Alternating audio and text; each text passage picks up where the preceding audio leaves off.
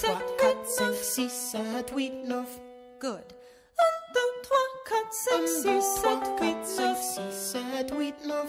Sept, huit, neuf. Sept, huit, neuf. Sept, huit, huit, neuf. One, two, three, four, five, six, seven, eight, nine.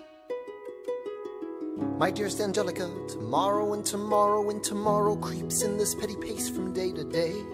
I trust you'll understand the reference to another Scottish tragedy without my having to name the play. They think me Macbeth. Ambition is my folly. I'm a polymath, a pain in the ass, a massive pain. Madison is Banquo, Jefferson's Macduff, and Birnam Wood is Congress on its way to Dunsinane. And there you are, an ocean away. Do you have to live an ocean away? Thoughts of you subside, then I get another letter, and I cannot put the notion away. Take a break. I'm on my way. There's a little surprise before supper, and it cannot wait. I'll be there in just a minute. Save my plate. Alexander, Okay, okay. your son is nine years old today. He has something he'd like to say. He's been practicing all day. Philip, take it away. Daddy, daddy, look, my name is Philip. I am a poet. I wrote this poem just to show it. And I just turned nine. You can write rhymes, but you can't write mine. What? I practice French and play piano with my mother. Uh-huh. I have a sister, but I want a little brother. Okay. My daddy's trying to start America's bank. Un, deux, trois, quatre, cinq. Take a break. Hey, our kid is pretty great. Run away with us for the summer. Let's go upstate. Eliza, I've got so much on my plate. We can all go stay with my father.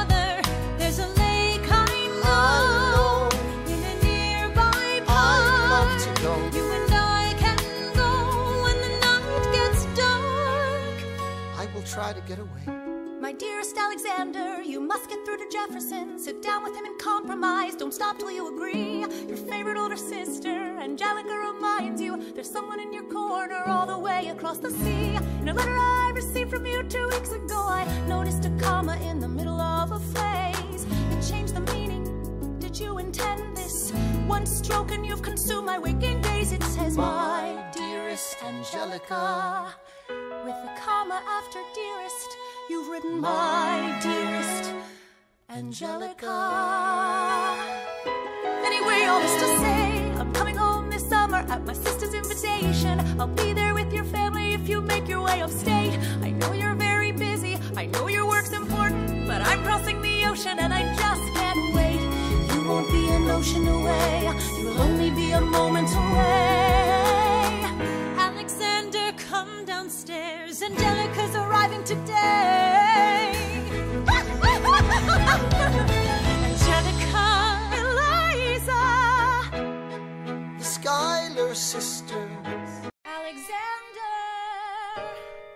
Congratulations. You have invented a new kind of stupid, a damage you can never undo kind of stupid, and open all the cages in the zoo kind of stupid. Truly, you didn't think this through kind of stupid. Let's review. You took a rumor a few, maybe two people knew, and refuted it by sharing an affair of which no one has accused you. I begged you to take a break, you refused to. So scared of what your enemies will do to you. You're the only enemy you ever seem to lose to. You know why Jefferson can do what he wants? He doesn't dignify schoolyard taunts with a response. So yeah, congratulations. You've redefined your legacy. Congratulations. It was an act of political sacrifice. Sacrifice? I languished in a loveless marriage in London. I lived only to read your letters. I look at you and think, God, what have we done with our lives and what did it get us? That doesn't wipe the tears or the years away. But I'm back in the city and I'm here to stay. And you know what I'm here